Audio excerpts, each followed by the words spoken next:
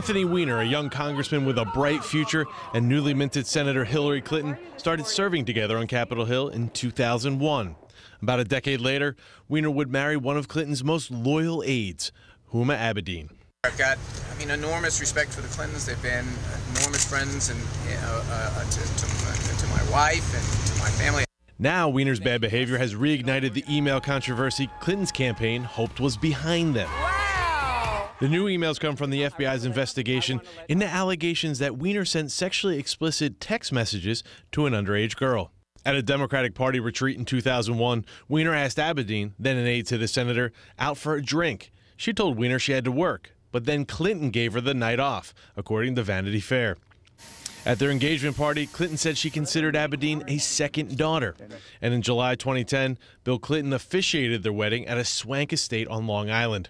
But the honeymoon wouldn't last long. Pardon me, sir.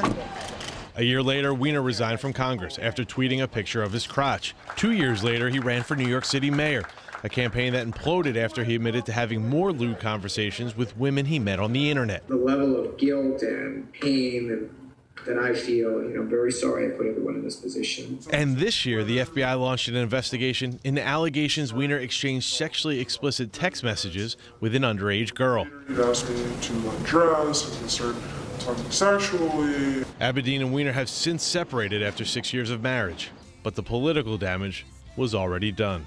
Who is Huma married to? One of the great sleazebags of our time.